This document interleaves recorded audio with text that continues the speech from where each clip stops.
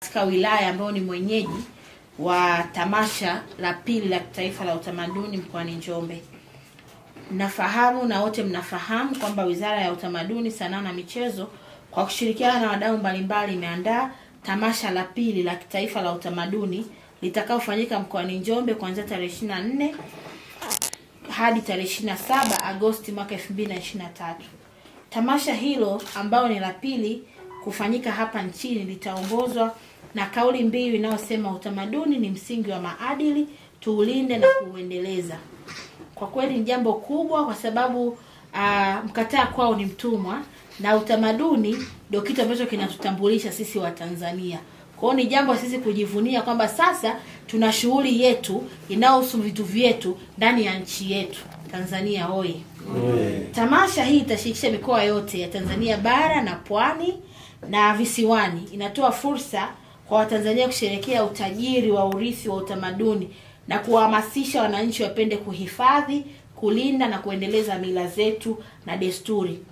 Ni hatua kubwa ambayo serikali imefanya, ni mapinduzi makubwa katika miaka zaidi ya sitini ya uhuru. Leo ndo tunaona kwamba tunasherekea utamaduni wetu. Kwa watoto sasa hivi hata kuongea Kiswahili anaona kwamba uh, atakuwa mshamba, wakati Kiswahili ndio lugha yetu ya taifa. Kwa hiyo lazima tuwarithishe vizazi waweze kuelewa kwamba wao ni kina nani, tumetoka wapi, tunakwenda wapi na wanarithi kitu gani. Kwao ni sio cha kukosa. Hata Watanzania ambao hamtakuwepo Njombe, mwe mnafuatilia, kwa sababu sio cha kukosa, ni kitu kikubwa, na mwaka huu tunafanya kwa mara ya pili. Kwa hiyo mwaka jana kama mliona kule Arusha, mwaka huu kwa Njombe maboresho yatakuwa ni mengi mengi na mambo mazuri yanakuja.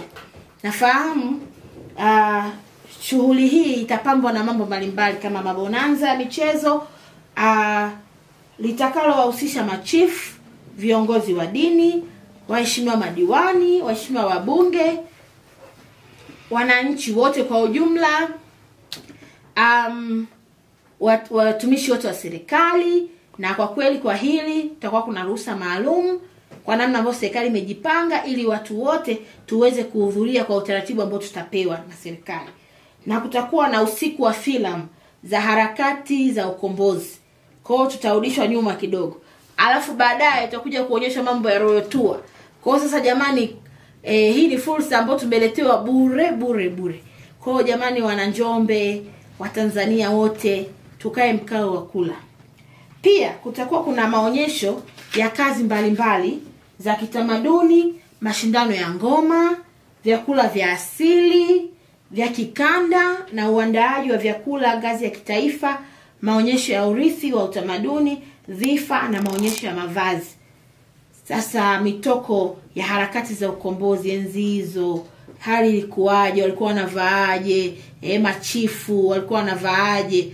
E, chifu Mkwawa e, wana, watu wataonyesha fashion show jinsi kifumkwa alivyokuwa anaonekana. Hata wanafunzi nadhani watakuwa very interested au watakuwa watakuwa na furaha kuona vitu kama hivi, kwa sababu tunaiona ile historia ambayo tunaitoa darasani, sasa kwenye maandishi tunaiweka kwenye uhalisia.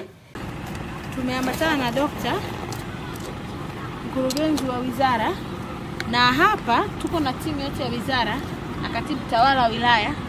Nitumie fursa hii kutangaza kwa wilaya ya Njombe, kuanzia kesho saa mbili asubuhi, wanaotaka kuja kufanya biashara hapa waje wapewe maeneo. Afisa biashara wote watakuwepo hapa, pataanza kuchangamka na hapa patakuwa pana kesha.